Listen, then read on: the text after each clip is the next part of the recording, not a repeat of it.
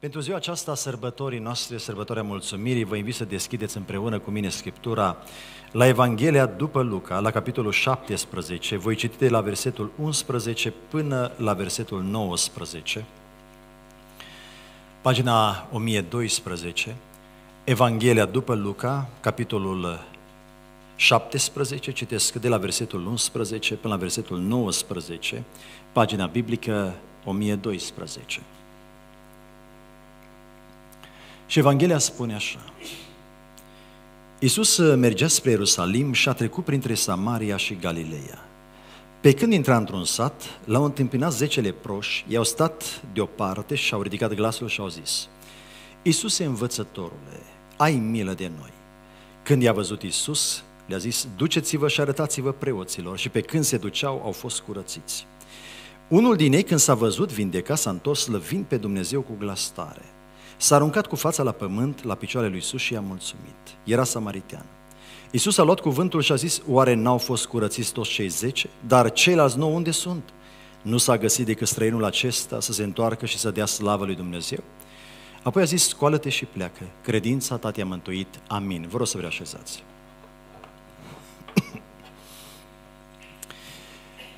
Cineva spunea că Dumnezeu ne dă în fiecare zi 84.600 de secunde. Și punea următoarea întrebare, pe câte dintre acestea le-ai folosit ca să spui mulțumesc? De câte ori ai mulțumit lui Dumnezeu pentru că ai minte și poți să judeci, ai picioare și poți să umbli, ai ochi și poți să vezi, ai pâine pe masă, ai sănătate? De câte ori ai mulțumit lui Dumnezeu că ți-a ascultat rugăciunile? De câte ori i-ai mulțumit Dumnezeu pentru cei din casa ta?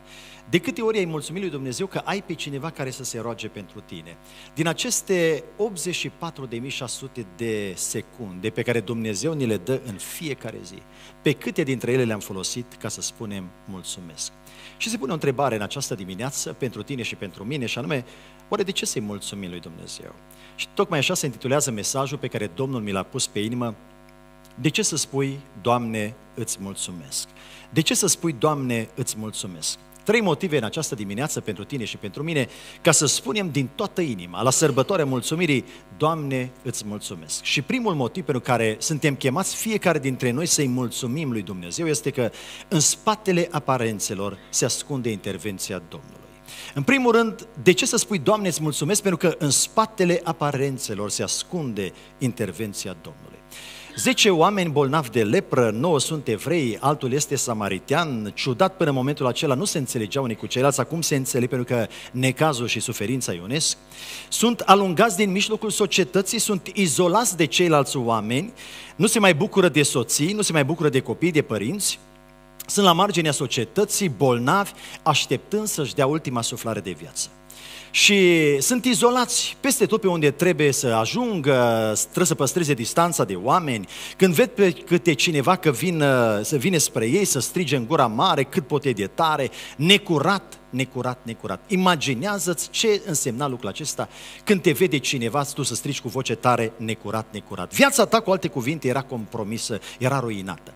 Dar ce spune textul Sfânt este că prin zona lor, printre Samaria și Galileea, trecea însuși Domnul Iisus Hristos. Și când îl văd pe Domnul Hristos de departe, încep să spună, învățătorule, ai milă de noi. Și Domnul le spune ceva foarte interesant, duceți-vă și arătați-vă preoților. În timp ce se duc ei să se arate preoților, dintr-o dată primesc vindecare, sunt vindecați. Ai putea să spui, domne, a fost o întâmplare. Domnule, nu și-a pus Hristos mâna peste ei, n-a făcut o rugăciune specială, n-a chemat numele lui Dumnezeu. Ai putea să spui, a fost o întâmplare. Domnule, dintr-o dată s-au făcut bine. Până în momentul acela erau cu adevărat bolnavi, dar uite, s-au făcut bine. Domnule, a fost întâmplare, a fost soarta, au fost conjuncturile. Dar uitați-vă să vedeți, omul acesta care se întoarce să-i mulțumească lui Hristos pentru vindecare, s-a văzut vindecat. Nu s-a văzut că este bine, nu s-a văzut că îi merge mai bine, nu s-a văzut că știu eu, nu mai are anumite dificultăți, omul acesta s-a văzut vindecat. Doar omul care se vede ajutat de Dumnezeu se întoarce cu mulțumire. Doar omul care se vede binecuvântat de Dumnezeu se întoarce cu mulțumire. De ce să spui, Doamne, îți mulțumesc? În primul rând, pentru că în spatele aparențelor se ascunde intervenția Domnului. Spunea la un moment dat uh, Einstein că felul lui Dumnezeu de a lucra este întotdeauna în anonimat. Adică Dumnezeu în general nu lucrează, spunea acest mare om de știință, prin lucruri așa care să-ți izbească privirea. Te duci la serviciu și așa Dumnezeu îți dă pâinea cea de toate zilele. Apoi ai pensie și Dumnezeu îți dă pâinea cea de toate zilele. Faci un business și ai propășire financiară. Îți cumperi o mașină și te bucuri de ea. Uh, faci o școală și obții o diplomă, faci o meserie și ești un bun meseriaș. În general, Dumnezeu lucrează sub uh, aspectul acesta al anonimatului. Nu este foarte vizibil Dumnezeu când lucrează, dar ochii spirituali îl văd pe Dumnezeu. Realizează că în spatele diplomelor este ajutorul Lui realizează că în spatele anturajelor favorabile, în spatele unui sprijin material sau unei încurajări, este Dumnezeu ochiul spiritual vede că în spatele tuturor binecuvântărilor este mâna lui Dumnezeu. Iacov, fratele lui Hristos, spunea că nimic din lumea aceasta nu vine la întâmplare.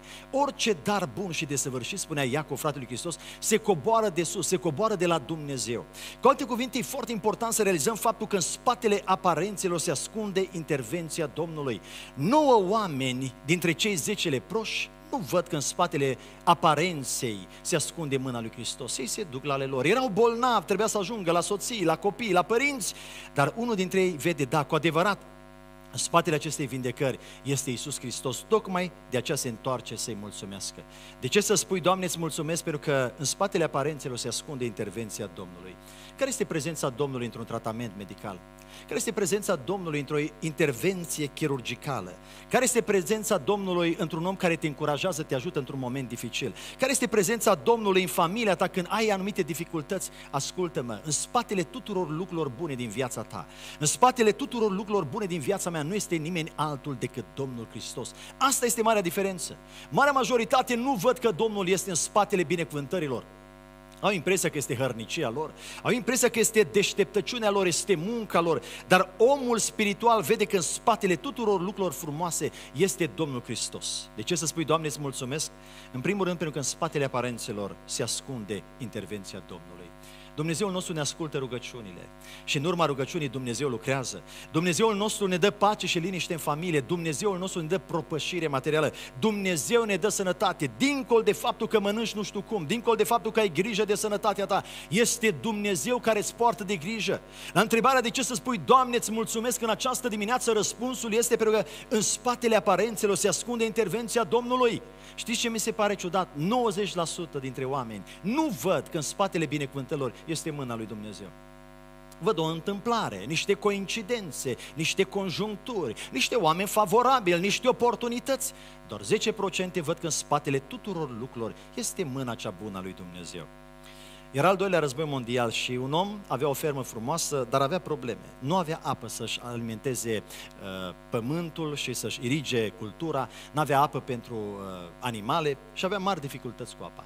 An de zile să tot ruga lui Dumnezeu să-i ajute Dumnezeu în bunătatea lui, să aducă de acolo de undeva o conductă cu apă sau să găsească undeva un izvor pe proprietatea lui. Și tot s-a rugat și tot s-a rugat, nu tu izvor, nu tu conductă de apă și destul de necăjit, domne, nu pot să-mi ridic cultura, nu pot să-mi uh, adăp uh, turmele, uite, am probleme cu apa. Și vine al doilea război mondial și la un moment dat uh, cineva o dat acolo, bun înțeles, un popor implicat în război, o dat acolo cu o bombă. Nu o dat peste casa lui, nu o dat peste animalele lui, dar o dat peste ferma lui. Și în momentul în care a căzut bomba respectivă, întâmplarea aceasta este reală, din al doilea război mondial, în momentul respectiv, ce să vedeți? Uh, de acolo a țâșnit un izvor foarte frumos și de acolo și-au putut adăpa turmele, de acolo și-au putut uh, iriga uh, agricultura și uh, toate pământurile și toate culturile. Iată dar cum lucrează Dumnezeu, cum ascultă Dumnezeu rugăciuni. Adică Dumnezeu să îngăduie să vină o bombă peste proprietatea ta ca în felul acesta uh, să ai parte de propășire. Dumnezeu întotdeauna lucrează, ai putea să spui, într-un mod care depășește capacitatea noastră de gândire. Eu, de exemplu, mă aștept dacă sunt bolnav să mă rog și de îndată când mi se face poate ungerea sau se roagă cineva cu puderea mâinilor, Dumnezeu să mă vindece. Și sunt astfel de cazuri. Dar mai sunt și cazuri în care te rogi, poate câteva săptămâni, câteva luni de zile și te duci la un doctor și doctorul îți prescrie un tratament medical. Și Dumnezeu lucrează în felul acesta. Te-ai așteptat, Doamne, vezi că am dificultăți economice, te rog frumos, trimite pe cineva să-mi dea în numele tău o anumită sumă de bani să plătești și am de plătit. Și te uiți, mă, nu a venit nimic. Dar în decurs de câteva săptămâni, în câteva luni, îți vine un loc de muncă foarte bun Poate la început nu e la fel de bine plătit, dar odată cu trecerea timpului, Dumnezeu transformă lucrul acela de muncă într-o mare binecuvântare. Așa lucrează Domnul. Diferența este că cei mai mulți oameni nu pot să-L vadă pe Domnul. Nu pot să vadă decât un medic, un om bun, un angajat, un patron, pe cineva. Diferența este între perspective. Din ce perspectivă privești lucrurile? Uitați-vă să vedeți, leprosul acesta înțelege că cel ce îl vindecă pe el este Hristos. Ceilalți nouă zic, nu au fost întâmplare, au fost coincidență, poate nici n-am fost așa de leproși. Auzit am oameni care când s-au făcut bine, au zis, mă, poate n-am fost chiar așa de beteaj, poate a fost o chestie psihică.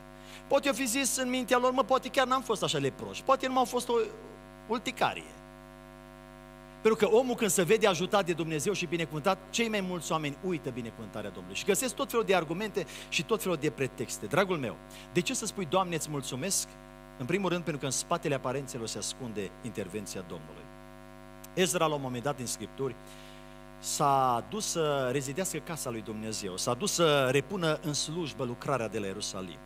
Și i-a spus el împăratului, pentru că era un om cheie acolo în împărăție, împăratului din vremea respectivă, a cele mai puternice împărății, mâna lui Dumnezeu este spre binele tuturor celor ce îl caută. Și acum, după ce spui asta că Dumnezeu este cu cei care îl caută și slujesc, ți-e puțin dificil să spui, auzi, am nevoie de o armată care să ne păzească pe drum. Zice Ezra, mi-a fost puțin rușine, jenă să-i spun, împărate, după ce ți-am spus că Dumnezeu îi apără pe ai lui și noi suntem ai lui, mai dă-ne tu niște soldați să ne păzească. Și ce face Ezra în momentul acela de cotitură sufletească? Zice Scriptura că au vestit un post la râul Ahava. Și acolo s-au zmerit înainte lui Dumnezeu, au recunoscut că fără Dumnezeu nu pot face absolut nimic. Au încredințat averile respective, aurul, argintul, vasele, le-a încredințat cu numărul, toate le-au încredințat preoților, leviților și le spune fiți cu ochii în patru, adică fiți atenți. Pa mai mult pe drum, să avem săbile la îndemână să ne apărăm. Și totuși când ajung după vreo lună și ceva la Ierusalim, știți ce spune Ezra? Mâna cea bună a lui Dumnezeu a fost cu noi și Dumnezeu ne-a ocrotit. Și am ajuns cu aurul și am ajuns cu vasele și le-am adus pe toate la casa lui Dumnezeu și am rezidit casa Domnului și am repus slujba în funcțiune pentru că mâna lui Dumnezeu a fost cu noi. Vreau să te întreb în această zi. Tu vezi că în spatele tuturor lucrurilor este mâna lui Dumnezeu? Spune Scriptura că David la un moment dat s-a uitat în viața lui și a văzut că cel ce îi dă propășire este Dumnezeu. Sunt oameni care cred că mintea lor îi propulsează. Sunt oameni care cred că abilitățile lor îi propulsează. Sunt oameni care cred că relațiile lor îi propulsează. În această zi, mă rog să ne ajute Domnul să vedem că în spatele tuturor binecuvântărilor este mâna Lui. De ce să spui, Doamne, îți mulțumesc? În primul rând, pentru că în spatele aparențelor se ascunde intervenția Domnului. În al doilea rând, ca nu cumva ceea ce îți dorești să te facă să uiți ceea ce ai. De ce să spui, Doamne, îți mulțumesc ca nu cumva ceea ce îți dorești să te facă să uiți ceea ce ai. Ce și-au dorit oamenii aceștia? Și-au dorit să se reîntâlnească cu cei dragi. Imaginează-ți luni de zile, poate chiar ani de zile, nu și-au mai văzut uh, partenerii de viață, nu și-au mai văzut părinții, nu și-au mai luat în brațe copii. Și acum, odată ce s-au văzut vindecați, de îndată vrea să meargă la ei, să își reia viața de familie, să-și reia viața socială, viața profesională. Însă unul dintre ei se uită la el și se vede vindecat. Se prea poate uneori în viață în alergarea noastră în această lume, în tumultul lucrurilor, să uităm ce avem. Să nu mai privim la lucrurile pe care le avem, pentru că tot timpul ne uităm la ce nu avem. Totdeauna când te uiți la ceilalți, ți se pare că viața lor este mai frumoasă, ți se pare că sunt mai sănătoși, ți se pare că au mai mulți bani, ți se pare că, uh, nu știu, le merge mult mai bine. Totdeauna când te uiți la celălalt zici, bă, ce bine merge lui. Și întotdeauna parcă ne-am dorit ce au ceilalți și ne gândim la noi, auzi, dacă am avea cu tare lucru, dacă am avea o casă frumoasă, dacă am avea mașina aceea, dacă am avea salariul acela, dacă am avea concediul acela, dacă am avea hainele acelea, dacă am avea conjuncturile acelea, cu siguranță am fi oameni fericiți, am fi oameni împliniți. Și Dumnezeu fiecare dintre noi ne-a dat atâtea lucruri Întrebarea este, când ai ascultat ultima dată de ceea ce spune regele David? Binecuvântează suflete pe Domnul și nu uita nici una din binefacerile lui. Când a fost ultima dată când ai spus, Doamne, îți mulțumesc pentru tot binele pe care Tu mi-l faci?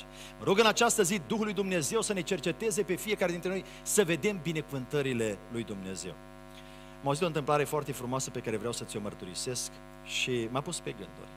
Pentru că noi, în general, ne uităm la ce nu avem, nu la ce avem. Era un om pe autostradă cu o mașină foarte frumoasă. Mașină nouă, mulți cai putere, foarte confortabilă, o mașină extraordinară. Și în timp ce se duce liniștit, ascultând muzică, încântat de mașina lui, uh, aude așa un zgomot puternic deasupra mașinii. Când se uită, un elicopter. Dintr-o dată i-a perit bucuria. Mă zice, frumoasă e mașina mea, dar dacă aș avea elicopter, aia ar fi o chestie adevărată. În momentul în care el se uită după elicopterul care trece pe deasupra lui, trece altul pe lângă el. Asta avea o mașină, dar nu așa ca așa lui. Și zice, bă, așa mai bună. Trage o leacă, e frumoasă, e confortabilă, dar dacă aș avea eu mașina aceasta, aș fi fericit. Între timp, un altul care mergea așa și o întâc și o întâc, nu prea mergea mașina, mai scutura, zice, o, Doamne, dacă aș avea mașina aia măcar, ce bine ar fi. A mea, uite, nu trage, nu merge, e neconfortabilă, dacă aș avea-o pe aceea, ce bine ar fi. Între timp, unul trecea pe acolo cu bicicleta, ăsta să agita cu bicicleta, nu de sport, nu de nevoie, ci de, adică nu de sport de bunăvoie, ci de nevoie, mergea cu bicicleta. Și la un moment dat pedalaș și obosit, trebuia să meargă la lucru și zice, Doamne, de-aș avea măcar mașinuța aceea, no, nu, nu știu ce de capul ei, dar nu te-ar ploua, nu te-ar bate în cap, Domne, ar fi bine. Între timp, altul care merge pe jos, n-avea bani să-și cumpere bicicletă, zice, o, de-aș avea și o bicicletă aceea, bă, ce bine ar fi, aș merge cu bicicleta la lucru.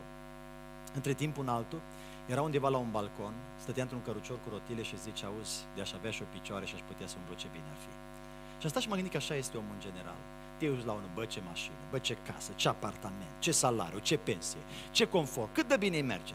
Și nu mai putem să vedem ce avem. Uită-te la tine, ți-a dat Dumnezeu minte. Când a fost ultima dată când ai mulțumit Domnului că ai minte?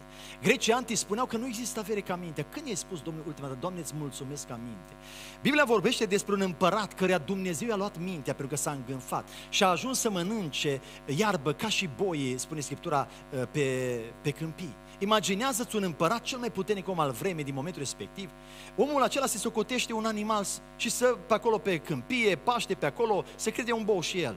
Și paște pe acolo și nici nu taie unghiile. Imaginează situația aceea deplorabilă în care ajunge. Zice, domne, sunt un animal. Imaginează, sunt astfel de boli în care omul se crede animal. Dar nu e ceva că, cum vor unii acum zice că sunt animale, pentru că să fie la modă cu unele turbulențele astea pe care le vedem la ora actuală. Și ăsta chiar a fost bietul necăjit la nivelul minții. Adică, domne, și-o pierdut mintea. Și-a zis, eu sunt unul dintre animale de pe câmp.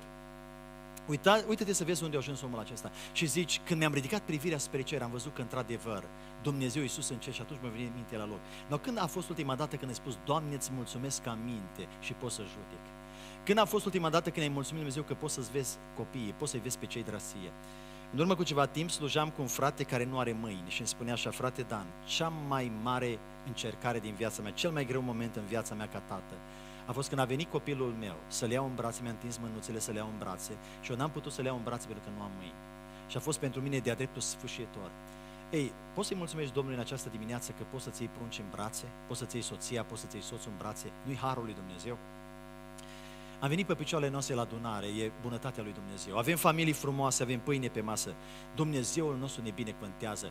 Dragul meu, de ce să spui, Doamne, îți mulțumesc ca nu cumva ceea ce îți dorești să te facă să uiți ceea ce ai. Uită-te la câte ți-o dat Dumnezeu și vei găsi motive de laudă, de mulțumire la adresa Lui. Se poate așa ceva? Se poate. Cartea Geneza, capitolul 3 tot, uh, tot lucrul acela frumos, tot locul acela frumos, toată grădina Edenului era lor. Era acolo pomul vieții, putea să mănânce după plăcere din pomul vieții, din toți ceilalți pomi din grădină. Veneau lei, elefanții, girafele, uh, porumbeii, păunii, toți erau la discreția lor, totul era frumos acolo. Venea Dumnezeu însuși în vizită la ei, în fiecare dimineață, în fiecare seară, venea Dumnezeu la ei în vizită, stătea Dumnezeu de vorbă cu ei, cum stăm unii de vorbă cu ceilalți. Și totuși Eva se uită la singurul lucru pe care nu poate să-l aibă. Se uită la pomul cunoștinței binelui și răului. Măi, Eva, Dumnezeu îți dă toți pomii din grădină, Dumnezeu îți dă tot confortul, Dumnezeu ți le dă pe toate. Un singur lucru spune să nu atingi, să nu mănânci, pentru că nu-ți face bine, îți face rău. Și tu tot acolo te uiți, te uiți la fructul acela interzis și zici, Doamne, ce bine arată. Cred că ar fi foarte gustos. O, ce bine ar fi să-l mănânc. Și l-a mâncat. Și pierde Edenul. Și relația dintre cei doi, soțul și soția devine tensionată, vor avea certuri, vor avea copii, unul dintre ei îl omoară pe celălalt și, Doamne, cât necaz, se duce la lucru, dacă înainte uh, serviciul pentru el era o relaxare. Deci el se relaxa mergând să grădinărească prin Eden. Acum zice, va fi o muncă puternică pentru tine, vei transpira, vei fi obosit și toate acestea, pentru că Adame, Evo, voi nu știți să prețuiți ce aveți. Pentru că nu vă uitați la ceea ce aveți, Uh, și vă uitați tot la ceea ce nu aveți, la ceea ce vă doriți. Mulți oameni astăzi n-au bucurie. N-au bucurie pentru că n-au ceva în plus, n-au bucurie pentru că n-au niște bani în plus, n-au bucurie pentru că nu le merge destul, n-au progresat destul, n-au funcția respectivă. Domnule, uită-te la ce ai în dimineața aceasta. Uită-te la lucrurile pe care ți le-a dat Dumnezeu și vei găsi motiv să-i mulțumești lui Dumnezeu.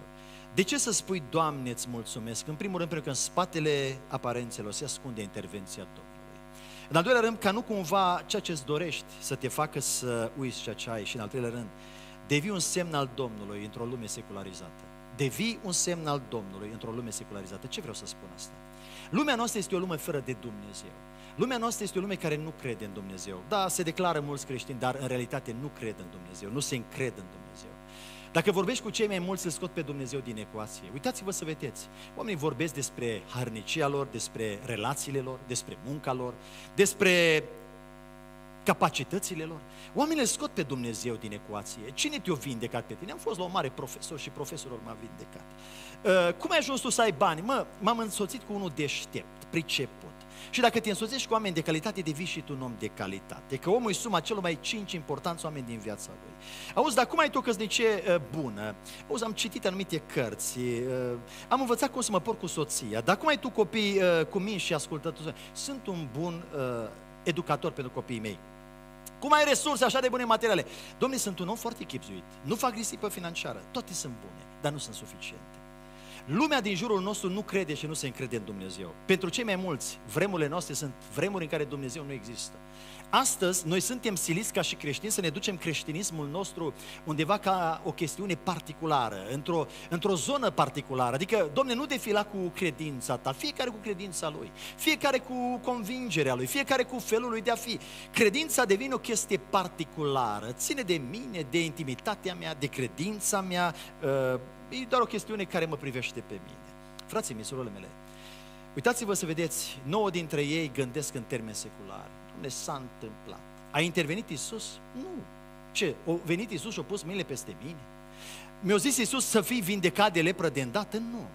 Pentru că Dumnezeu lucrează prin credință. Creștinismul este o convingere, o cale a credinței. Noi trebuie să-L credem pe Dumnezeu pe cuvânt. De asta nu se întâmplă minuni de fiecare dată, pentru că atunci am umblat prin vedere, nu prin credință. Dumnezeu face minuni și avem minuni în viața noastră.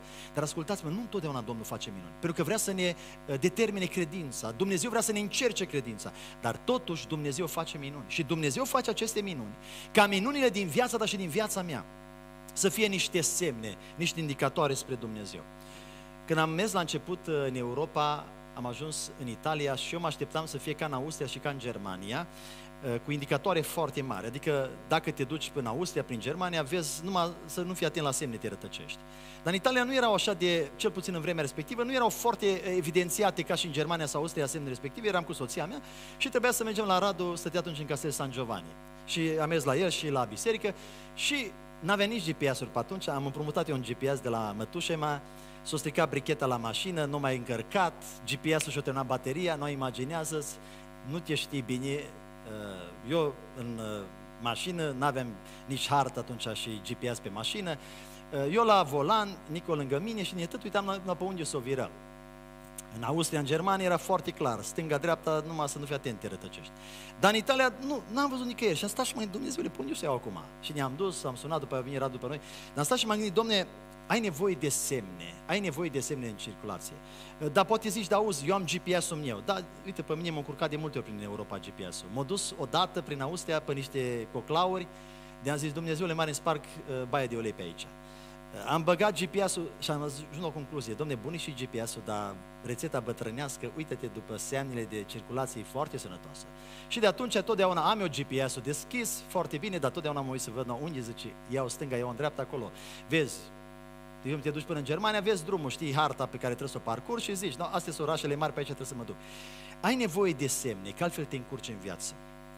Dumnezeul nostru, așa cum noi avem nevoie de semne de circulație pe pământul acesta ca să știm unde să mergem, uh, unde avem prioritate, unde avem stop, ce viteză putem să avem pe aici, Dumnezeul nostru a lăsat niște semne în lumea aceasta.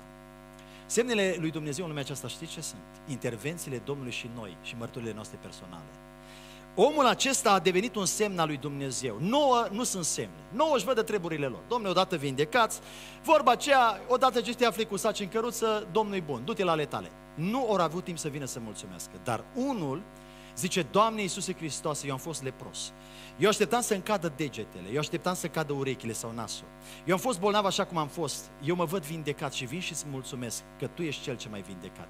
Omul acesta devine un semn al vindecării lui Dumnezeu. Omul acesta devine un semn al Domnului în societate, în familie. Omul acesta, într-o lume secularizată fără de Dumnezeu, devine un martor al lui Dumnezeu. Stăteam de vorbă odată cu cineva care nu credea în Dumnezeu și îmi spunea felul următor, eu nu cred că există Dumnezeu. Cum poți tu să demonstrezi că există Dumnezeu? Știți care a fost argumentul meu cel mai puternic? Dincolo de toate argumentele raționale, argumentul meu a fost următorul. Uite, îți spun din experiență că există Dumnezeu. Eu cu soția mea, 8 ani de zile n-am avut copii. Medical vorbind, niciodată nu puteam să avem copii. Ne-am rugat, am postit, fără nicio intervenție medicală, Dumnezeu ne-a dat doi copii. Ăsta este un semn extraordinar că Dumnezeu ascultă rugăciunea. Ori dacă nu există, El nu poate să asculte rugăciunea. Eu nu-ți vorbesc din cunoștințele pe care le-am citit. Nu-ți vorbesc din uh, argumente raționale, eu îți vorbesc din experiența mea personală. Experiența mea este clar, medical vorbind, niciodată nu o să ai copii. Și totuși, din punctul de vedere Dumnezeu s-a făcut o minune. Ei, poate să facă o minune cineva care nu există? Cineva care nu există nu poate să facă o minune. Faptul că cineva a făcut o minune în viața și în casa mea înseamnă că acel cineva există și acesta este Dumnezeu. Și pot să spun despre mine, despre viața mea, despre familia mea, despre situația noastră, că este un semn al Domnului în această lume secularizată fără de Dumnezeu. Mă rog ca Domnul să se atingă de fiecare dintre noi, să atingă viața noastră, să atingă trăirea noastră. Dragul meu, de ce să spui, Doamne, îți mulțumesc? Pentru că în această lume devii un semn al lui Dumnezeu. În această lume care nu crede în Dumnezeu, în această lume care teoretic crede, dar practic nu crede.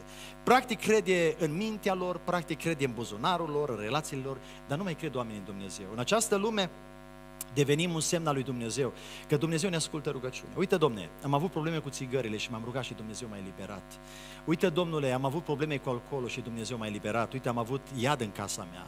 Eu m-am certat mult cu nevasta mea, eram pe punctul de a divorța, nu ne-am înțeles. Era, era tensiune mare în casa noastră, dar Dumnezeu a dus pace și liniște. Uite, am avut niște vicii extraordinar de mari, îmi distrugeau viața și familia. Viitorul meu era compromis, dar m-am rugat lui Dumnezeu și Dumnezeu m-a ajutat și Dumnezeu m-a eliberat. Uite, am avut o criză financiară extraordinară, N-aveam nicio șansă să-mi revin și m-am rugat și Dumnezeu a făcut o minune pentru mine. Și ăsta este semnul și minunea lui Dumnezeu. Dragul meu, de ce să spui, Doamne, îți mulțumesc? Ca să fii un semn al Domnului într-o lume secularizată. Să poți să spui, da, există Dumnezeu și Dumnezeul meu mi-ascultă mie rugăciunea, Dumnezeu a lucrat pentru mine. Vă aduceți aminte de acel om din Scripturi? Spune Biblia că era un om bolnav. Era un om uh, stăpânit de diavol. Spune Scriptura că era posedat nu de un drac, nu de un demon, de o legiune o legiune romană avea undeva la 4-6 mii de soldați, de 4 mii și 6 mii de soldați. Îți imaginezi ce a fost viața acestui om, câtă dramă? Zice Scriptura că încercau să lege cu lanțul la mâini și la picioare și nu puteau să-l țină în stăpânire. Pentru că rupea lanțurile, lua pietre pe acolo și se tăia, era plin de sânge, urla, țipa, oamenii îl evitau, stătea în morminte, era un om cumplit, dezbrăcat, violent, rău, o legiune de 4-6 mii de draci în el. Vă dați seama? 4 mii de draci, 5 mii, 6 mii de demoni în el. Ceva infiorător. Și trece Iisus Hristos pe acolo. Și când îl vede pe Hristos, vine omul acesta îndrăcit, se aruncă cu fața la pământ și se închină lui Iisus. Și Domnul spune, care ți este numele? Și dracii, demonii din om spun, uh, numele nostru este legiune, că suntem mulți. Hristos le eliberează pe om intră demone ce în por, se aruncă în mare și se neacă. Și spune Scriptura ceva foarte interesant. Zice că omul acela, în timp ce s-a văzut vindecat, când Dumnezeu s-a atins de viața lui, s-a îmbrăcat, zice că era dezbrăcat înainte, era un om într-o stare jalnică, acum era îmbrăcat normal. Și spune Scriptura că s-a mai întâmplat ceva, omul acesta era în deplinătatea minții. Când te întâlnești cu Iisus Hristos, te îmbraci frumos și ai mintea luminată și stătea lângă Iisus. El care știa ce a făcut satana cu el, cum și-a bătut joc de viața lui, spune, Doamne, știi ce te rog frumos? Aș vrea să rămân cu tine. Dar Domnul spune, nu se poate să fii cu mine. Dar ce să fac, Doamne? Du-te la ei tăi în decapole. Du-te la taică tu la maică ta, du-te la frații tăi, la cumnații tăi, cumnatele tale, du-te la vecinii tăi, du-te la toți cei drasie și povestește-le tot ce ți-a făcut Domnul și cum a avut milă de tine. E foarte important lucrul acesta. Și spune Scriptura, Că omul acela s-a dus și le-a povestit tuturor ce a făcut Domnul pentru el și cum a avut Dumnezeu milă de el. A devenit un semn al Domnului într-o lume secularizată. De ce să spui, Doamne, îți mulțumesc? Pentru că în spatele aparențelor se ascunde intervenția Domnului. Nu e vorba despre mintea noastră. Și lumina și călăuzirea tot Dumnezeu ni le dă pe toate. Nu e vorba despre economiile noastre, e mâna lui Dumnezeu. Nu e vorba despre un specialist dar Dumnezeu în general lucrează sub aspect anonim. Sub coincidențe se ascunde întotdeauna mâna lui Dumnezeu. Apoi, uh, știi de ce să-i spui, Doamne, îți mulțumesc, ca nu cumva ceea ce-ți dorești, să te facă să uiți ceea ce ai. Astăzi oamenii sunt depresivi, astăzi oamenii sunt necăjiți pentru că nu se uită la ce au, se uită la ce nu au. Ca evrei în Egipt, nu s-au bucurat că Domnul i-a scos în Egipt. Erau triști că n-aveau castraveți, n-aveau dovlecei și n-aveau pește din Egipt. Dar nu s-au gândit, Domnule, suntem liberi, ne putem închina lui Dumnezeu. Și foarte important, într-o lume fără de Dumnezeu, fără de credință, devii un semn al lui Dumnezeu. Un semn al Domnului această lume, când te vor vedea pe tine oamenii. Ce a făcut Domnul în viața ta? Cum te-a eliberat? Cum te-a schimbat? Cum te-a transformat? Vei deveni un martor al lui Hristos. Vei deveni un semn care va indica spre cer că există Dumnezeu și că Dumnezeu nostru lucrează. În timp ce meditam la lucrul acesta, mi-am adus aminte că undeva în Germania am întâlnit un frate care a avut parte de o dramă extraordinară în viața lui. În zona Münchenului este omul acesta. La aproape 20 de ani pleacă din România. Era un culturist înalt și foarte bine definit, impecabil de fizic. Mergea la concursul de frumusețe. Omul acesta însă era și trist. Și s-a căsătorit, soție frumoasă și Dumnezeu a dat și un copil. Făcea culturist și mergea la diferite concursuri de culturism. Dar fiind șofer pe tir, la un moment dat, tirul fiind încărcat, s-a ciocnit de un alt tir. Și el încărcat și celălalt tir încărcat. Bărbatul acesta culturist, înalt, bine făcut, a ajuns lui A ajuns în cărucior cu tine. Luni de zile nu s-a putut ridica de pe pat. Nu se putea mișca de frică. Și așteptau toți Dumnezeu în bunătatea Lui i-a dat viață.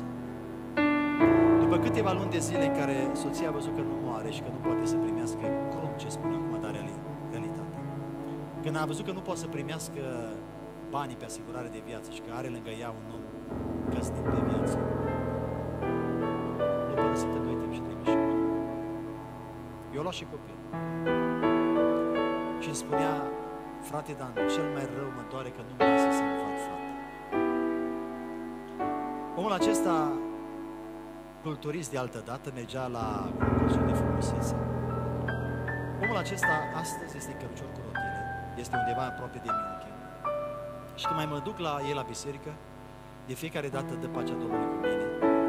Se simte mai bine, are o mână puternică de te scurtă, de prins putere, te înfiorează. Chiar că este cărucior cu rotile și când îl întreb ce faci frate și spun pe mine cum ești. Se uite la mine și cu zâmbetul pe bune buze spune așa, frate Dan, n-am nicio plângere înainte Domnului. Am fost la biserica lor de mai multe ori și de fiecare dată când îl întreb ce faci frate, cum ești, îmi spune același cuvinte. N-am nicio plângere înainte Domnului. Vă mărturisesc în modul cel mai sincer, de multe ori mă cercetează gândurile și vorbele acestea. Adică un bărbat frumos, sportiv, cu o familie frumoasă, casa ta în Germania, o situație financiară bună. Vine necazul păstă tine, o clipă de neatenție, unul staie calea, te lasă invalid, te lasă paralizat, te părăsește nevasta că nu are chef să mai aibă grijă de tine. Rămâi în grija lui maică ta. Uh, nici fata nu-ți mai vezi. Și ani de zile nu mai vezi fata. Vii la adunare, mulțumești lui Dumnezeu, chiar dacă ți-e greu, vorbești greu, ești în cărucior cu tine și când îl întrebi, cum ești, ce faci? Să-mi repezi de fiecare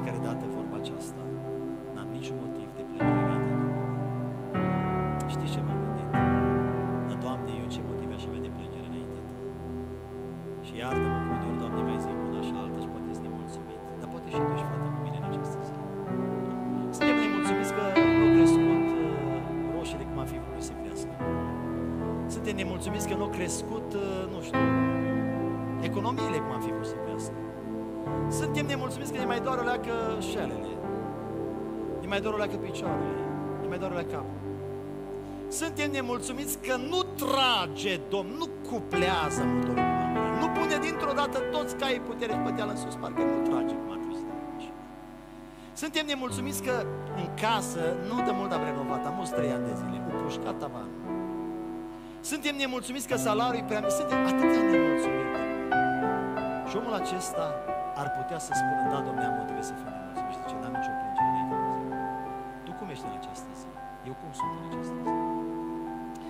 Zice Solomon, cel care mânca cel mai bine din toată Biblia, avea un ospăț necurmat. Cine are inima mulțumitoare are un ospăț necurmat. De ce atâta depresie? De ce atâta oftică? De ce atâta supărare? De ce atâta oameni picați fără niciun chef, ramoliți? Nu se bucură unii de alții în familie, nu se bucură de lucruri materiale, nu se bucură, nu știu, de serviciu pe care l-au, de lucrurile, lucrurile acelea frumoase pe care le-au și zice, se compară unii cu alții, te uiți pe social media și îl vezi pe câte unul plecat la Dubai. Și zici, Doamne, eu n-am putut pleca la Dubai, numai până și la Dubai. Și dintr-o dată îți pierde toată fericirea.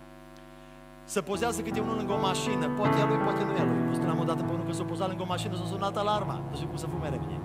Și când îl vezi lângă mașină, zici, Doamne, pe a mea, ia câte. Mai nou am văzut și asta pe social media, câte un frate scump cu teancul de bani. Euro, dolar, lire sterline și leuți pe acolo. Și zici, Doamne, pe nu am cu ce să-mi plătesc factura. Tot felul de lucruri și diavolul ne fură bucurie. Știi ce vrea să spunem în această zi? Doamne, îți mulțumim pentru tot ce suntem și tot ce avem. Aș vrea să te uiți la soțul tău, să te uiți la soția ta. Aș vrea să te uiți la copilașii pe care ți-o dat Dumnezeu. Aș vrea să te uiți la lucrurile materiale pe care le ai, atâtea câte le avem. Aș vrea să ne uităm la faptul că am venit pe picioarele noastre aici în dimineața aceasta. Că ne vedem unii pe ceilalți. Că te duci acasă și îți poți lua copiii în brațe, nepoți în brațe. Aș vrea să-i mulțumești lui Dumnezeu că ți ascultă rugăciunile.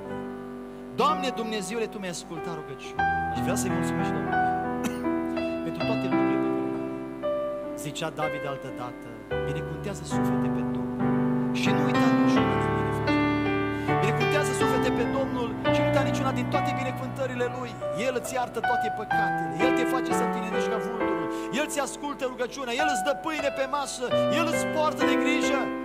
În această zi aș vrea să-i aducem Domnul rugăciune de mulțumire pentru tot ce ne-a dat, pentru tot ceea ce El nu ne-a dat, pentru că Dumnezeul nostru este bun, este plin de milă și de îndurare. Pe de altă parte, spune Pavel, știm că toate lucrurile lucrează împreună spre bine celor ce iubesc pe Dumnezeu și anume spre binele celor ce sunt chemați după planul lui Dumnezeu. Aș vrea să-i mulțumim lui Dumnezeu pentru toate lucrurile, pentru tot ce suntem și tot ce avem. Haideți să ne ridicăm cu toți în picioare. Stăm cu fețele pe cat ochii închiși. Și la întrebarea de ce să-i mulțumim Domnul dimineața aceasta, aduți aminte că în spatele aparențelor se ascunde intervenția Domnului. Spune, Doamne, îți mulțumesc că nu cumva ceea ce îți dorești să te facă să uiți ceea ce ai. Uită-te la câte ți-o dat Domnul și mulțumește pentru ele. Și apoi, foarte important, devii un semn al Domnului într-o lume fără de Dumnezeu. Uită-te la ce a făcut Domnul pentru tine. Mulțumește-i Domnul și vei vedea că totul se va schimba în viața ta. Dumnezeu va lucra pentru tine într-un mod special. Și în această dimineață, pe măsură ce vom mulțumi Domnului, bucuria va copleși sufletele noastre. Pe măsură ce vom spune, Doamne, îți mulțumesc pentru toate lucrurile, pentru tot ce sunt, pentru tot ceea ce am. Dumnezeu îți va umple inima de pace și de bucurie. Ne rugăm cu toții Domnului.